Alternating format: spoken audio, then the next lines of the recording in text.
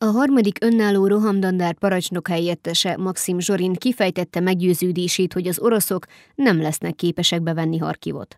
Arra is utalt, hogy a város elfoglalása jelenállás szerint valószínűleg nem célja Oroszországnak, írta meg az Unián Ukrán hírügynökség.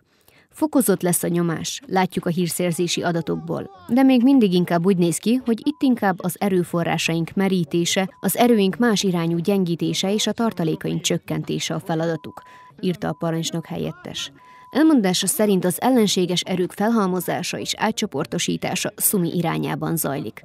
Eddig hasonló feladatokról beszélnek a számok ott is, az ukrán hadsereg erőinek visszavonásáról. És általában véve a helyzet a fronton elég nehéz, és a közeljövőben biztosan nem lesz könnyebb.